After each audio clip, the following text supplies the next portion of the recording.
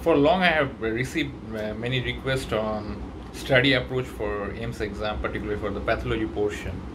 Now I can discuss about this in two contexts. I have been a top 100 ranker in the AIIMS long, long back, 13 years before, and at that time the approach was a little bit different. But now the as the question patterns have changed and more become like USMLE or international pattern, you need to uh, revise your approach also for the examination. The most important thing I feel to, to rank in the top 100, what you require is to keep an open-minded approach for learning. You don't just study for exam, but just try to also to learn the subject. So I'm coming to the pathology in a while. But the most important thing is that uh, that there should be a drive and desire to from within to learn the subject well not just to answer the questions but also if you learn it well obviously you can answer the question as a byproduct. It would happen naturally. So that's the most important part at the beginning.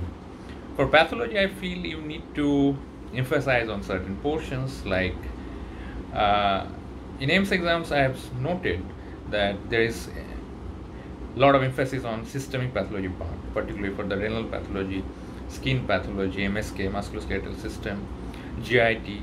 So, so you cannot just concentrate on general pathology. And most of the time, people feel that uh, pathology they mostly concentrate. I have seen on general pathology, but pathology is not only about general pathology. Uh, and AIIMS uh, as an institute has a full-fledged pathology lab and other things. Actually, it's a well advanced setup. So obviously the questions are framed accordingly uh, from for it so the areas which I feel that you should concentrate on the systemic part, first you should begin with hematology. Hematology you should have a brief overview about the anemias, uh, nutritional anemia, iron deficiency anemia, megaloblastic anemia. You should read about uh, the thalassemias, particularly hemolytic anemia, thalassemias, the sickle cell anemia, diagnostic approach of the thalassemia, particularly the HPLC, high performance liquid chromatography. You should know them in and out uh, then you should know about, well about the classification of the hemolytic anemia. Uh, then the most important part would be leukemias and the lymphomas. Leukemias you should know thoroughly about ALL, AML, CML, CLL, how do you diagnose them, what are their markers, uh, particularly for BCR-ABL1 in the cases of CML. Uh, you should know about the myeloproliferative neoplasms, particularly polycythemia vera, then also the bleeding and coagulation disorders. Uh, you should be thorough about the causes of the thrombocytopenia, various causes of the thrombocytopenia, ITP and TTP, and also heparin-induced thrombocytopenia. You should read about uh, hemophilia and von Willebrand disease. Uh, in the GIT, coming to that, GIT your emphasis would be from esophagus, you should read about Barrett's esophagus, various causes of esophagitis, pill esophagitis, uh, herpes simplex esophagitis, CMV esophagitis. Uh, then you should also read about the esophageal squamous cell carcinoma and the adenocarcinoma. From the stomach, be emphasis should be on peptic ulcer disease and also on uh, gastric carcinoma, particularly the two variants, diffuse variant and intestinal variant. You should read about their morphologic features. You should read about GIST, gastrointestinal stromal tumor, their markers like DOG1, CD117. Uh, you should read about the gastric lymphomas, though they comprise only 5%. Then intestine, you should read about the gastric polyposis syndromes. You should read about colon cancer. Uh, you should read about the intestine. A very important part is uh, Crohn's disease and ulcerative colitis. There is inflammatory bowel disease. You should be very thorough about them. Uh, and then also there are malabsorption disorders which are very important particularly uh, Whipple's disease then and more importantly celiac disease I feel uh, it's very important also to know particularly the biopsy findings in the celiac disease that there is a progressive blunting of the villi there is a reversal of the crypt villus ratio. You should understand all these concepts. Renal pathology is another important area which is uh, very much useful for the AIIMS exam and particularly the glomerular pathology part you should know the various causes of the nephrotic syndrome and nephritic syndrome particularly important ones I feel minimal change disease you should know about membranous glomerulonephritis, membranoproliferative glomerulonephritis, uh, then the post-infectious glomerulonephritis, which is the newer term for the post-streptococcal glomerulonephritis. You should know about the rapidly progressive glomerulonephritis, the three subtypes of the RPGN, uh, and IgA nephropathy. Various cystic diseases of the kidney, that is another high yield area, and also the renal tumors. Both renal cell carcinoma and its variants, as well as the pediatric renal tumors. You should know these things uh, in details, what I feel.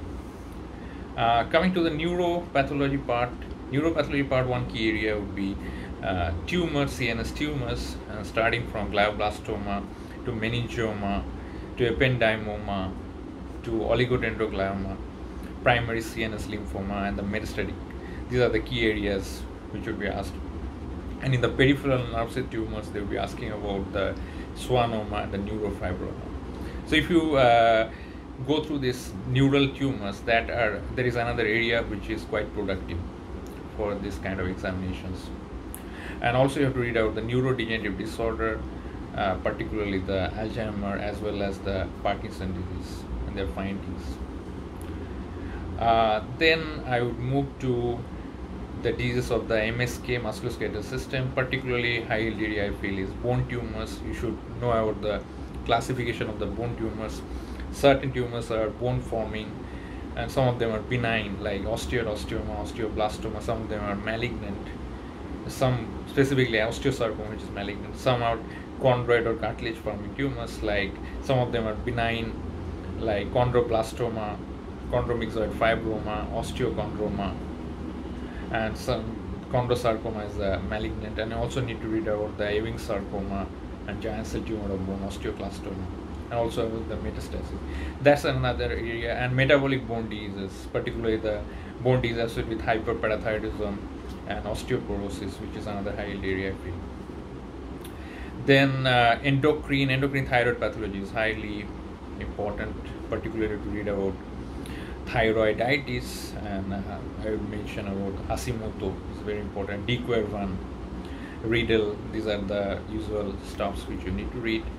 Uh, from the malignancy part, you need to read about five things papillary carcinoma thyroid, follicular carcinoma thyroid, medullary carcinoma thyroid, anaplastic carcinoma thyroid, and the lymphoma of the thyroid. In the parathyroid, you need to you know about the primary, secondary, and tertiary hyperparathyroidism as well as the causes of hypoparathyroidism. These are the high ladies.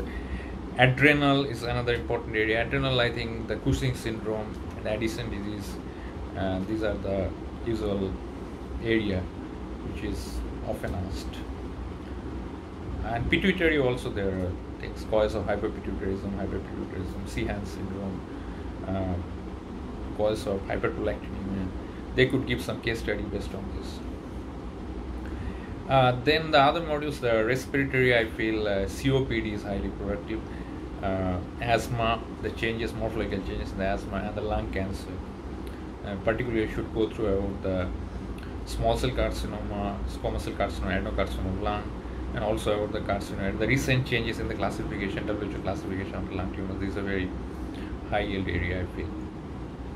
Uh, then we need to uh, CVS cardiovascular system vasculitis, the classification of vasculitis, then aneurysm, uh, mycotic aneurysm, AAA abdominal aortic aneurysm. Then you should also read about the uh, vascular tumors like hemangioma, angiosarcoma, Kaposi sarcoma. Cardiac is uh, the high areas are uh, rheumatic heart diseases, rheumatic fever, as well as you have to read out the ischemic heart disease, the changes, the cardiac biomarkers, and all those stuff, the morphological changes which you see in acute myocardial infarction. Uh, then also neuromuscular junction disorder, which I missed to tell, you should go through about them, myasthenia gravis and these things. And uh, other modules, fundamental, that is the uh, the general pathology part. General pathology part, you have to read about the necrosis, apoptosis, all the classi- uh, calcification, dystrophic and metastatic calcification, their differences. You have to know about the pathways of apoptosis, the molecules, pro-apoptotic, anti-apoptotic molecules. Uh, you need to know about the uh, inflammation in details, particularly the mechanism of acute inflammation, the vascular changes and the cellular changes.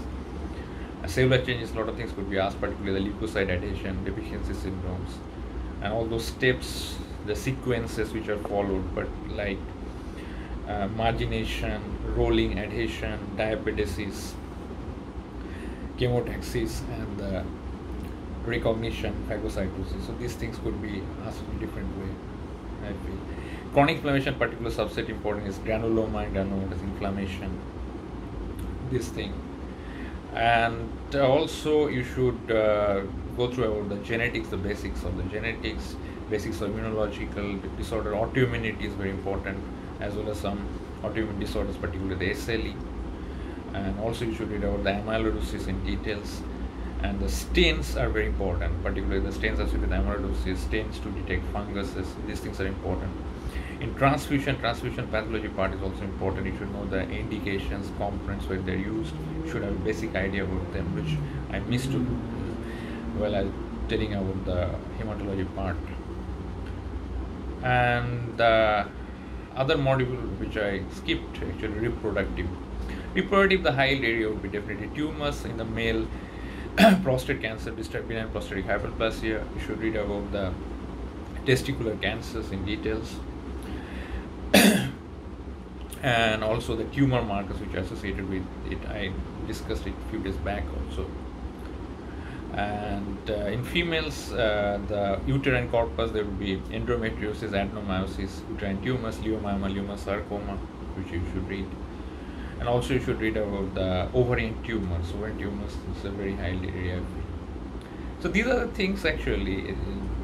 So the most important thing i feel that uh, you should focus from the very beginning to understand the topics well to have a rock solid concept. Conceptual clarity should be there because if you know the subject well then you can answer any question actually. And uh, you, that that would occur spontaneously naturally. You don't have to do it like that. so this is a video actually I made which I felt uh, as I that I should make it because I received few requests to prepare this. And this is some ideas which are coming in my mind. If more ideas come I will make another video. Thank you very much